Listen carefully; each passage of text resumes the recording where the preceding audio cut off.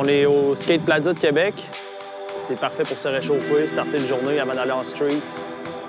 Quand tu skates à Québec, le skatepark, c'est le lieu de rendez-vous. On s'en joue toute une gang, on fait plusieurs spots. Il y a le filmeur qui a sa caméra dans son sac. Et c'est simple comme ça.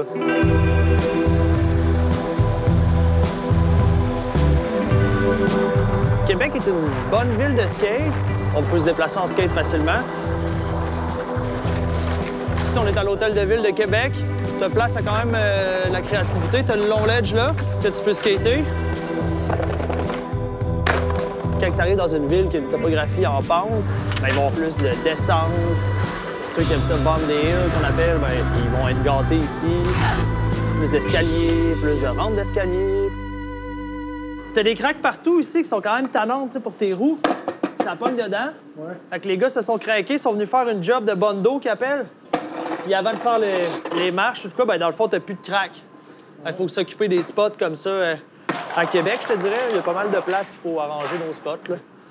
À cause de l'hiver, c'est ça, ça gèle, dégèle, ça bouge. Fait que c'est de même qu'on répare ça. On va passer au exo quick quick. Il faut que je me prenne un grip pour euh, mon autre board au cas où je brise celle-là.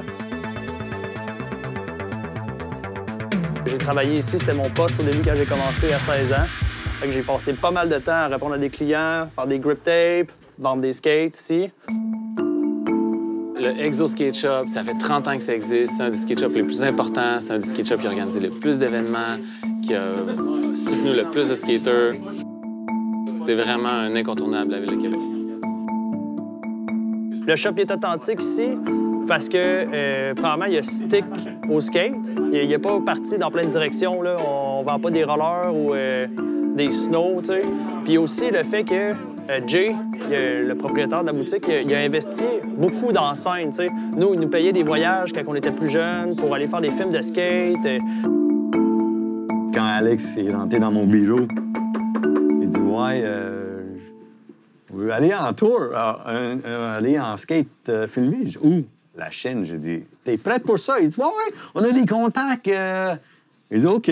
Donc, c'était un voyage payé par Exo. Mais le retour de ça, on a une, une DVD, on a une vidéo de, de skate qui est sortie avec tellement de footage, mais never been done pour une shop. Ouais, ça, c'était un, un slide au parc de la Ciutadella à Barcelone. Jay nous payait l'appartement là-bas. Euh, on avait acheté une caméra qui fait qu'on se filmait entre nous. C'était vraiment le fun. Puis on était parmi les premiers Québécois à aller en Europe. Il y en avait beaucoup qui... Tu sais, les, teams de Montréal, ils allaient souvent en Californie parce que c'est là que l'industrie était. Puis nous autres, on voulait essayer quelque chose d'autre. Fait qu'on est allé en, Espagne. Euh, on n'a pas regretté. On est allé deux, trois années de suite. Ben, c'est ça. Ils ont vraiment poussé la scène. Tantôt, on va aller voir le skatepark intérieur qui, appartient à Exo aussi. Fait que sans ça, l'hiver, ben, on ne serait pas capable de se développer. Ça, ça ferait dur notre affaire.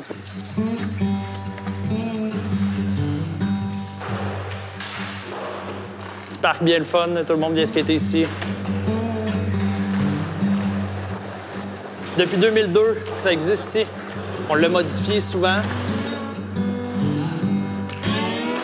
Ouvre à partir de octobre jusqu'à avril à peu près. Dès que le monde peut skater dehors, là, ça ferme parce que, évidemment, tout le monde va skater dehors. Québec, comment c'est fait? Là, t'as vraiment le, côté qui est plat. Ça, c'est la base ville. Puis après ça, t'es rendu en haute ville. Là, on va vraiment euh, aller voir le, secteur en haut là, de, la, de la haute ville. Tout le monde qui vient à Québec va tout le temps euh, passer au Carré Diouville, c'est sûr. là. C'est vraiment une belle place pour faire du flat, qu'on appelle. C'est la place pour te réchauffer finalement en Haute-Ville, puis après ça, aller faire du street, voir les autres spots a aux alentours, en fait.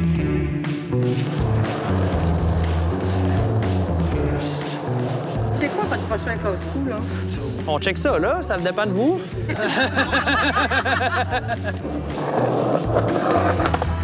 C'est qui était ça.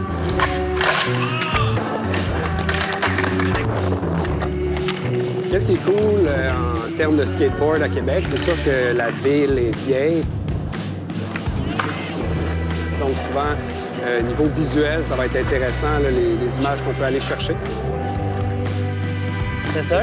C'est sûr que ça vient avec euh, le fait que les spots, des fois, vont être un petit peu plus maganés, euh, moins entretenus et tout. Donc, ça donne un, un cachet plus difficile aux endroits où on va skater.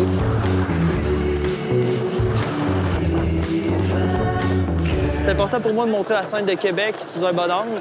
S'il peut y avoir plus de monde qui viennent skater ici, euh, ben, tant mieux, parce que plus que de monde qui viennent faire du skate sur les spots de Québec, ben, plus que le level de skate va augmenter dessus, On est rendu au dernier spot de la journée. Les boys commencent à être fatigués. Il est 4h30. On est bien, il n'y a personne. D'après moi, on avoir la paix pour euh, faire une petite sèche sur The Bricks. Là, ça, c'est un spot iconique qui a été skaté par plein de monde, tout le monde, tous les pros qui sont passés ici faire des démos. Ça s'est ramassé dans des gros films de skate, c'était c'était- tas de briques,